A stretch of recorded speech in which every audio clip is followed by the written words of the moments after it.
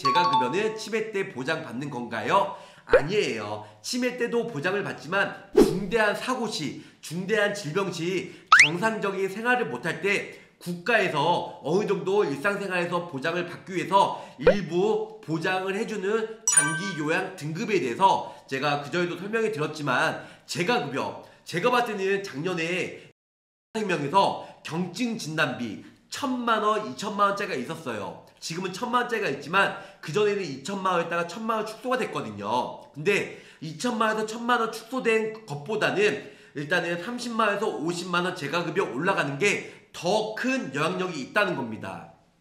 왜냐면요 2천만에서 1천만 원 내려가면 진단비 2천만 원, 1천만 원 물론 1천만 원대 높을 수는 있어요. 근데 재가급여 50만 원이면 1년이면 600, 10년이면 6천이에요. 20년이면 1억 2천. 자 이쁜 꺼님 저희 아빠가 암 환자이신데 혹시 고지사항에 암도 있나요? 고지사항 좀 자세히 알려주세요. 어, 암 환자도 가입이 가능하고요. 딱 심플하게 그냥 간단하게 말씀드릴게요. 뇌 쪽에만 아프지만 않으면 돼요. 뇌, 뇌 쪽으로 아프지 않으면 뭐가 있냐면요. 뭐 뇌혈관이나 뇌졸중, 뇌출혈, 아니면은 정신과 질환 약복용, 그리고 이런 부분들은 일단은 고지사항이면 가입이 될 수도 있고 가입이 안 될 수도 있어요. 정신과 우울증이나 뭐 공황장애 있으신 분 가입하신 분들도 많이 있으시거든요. 그래서 머리 쪽에만 크게 없으시면 뭐 암이든 심장질환이든 여러 가지 중대 질병 걸렸다 할지라도 고지사항에 포함이 안 된다는 겁니다. 그래서 일단은 머리 쪽에만 아니면 큰 문제는 없다. 하지만 장기요양 등급 신청하신 진행 중이던가 장기요양 등급 신청을 받으신 분들은 가입이 안 돼요.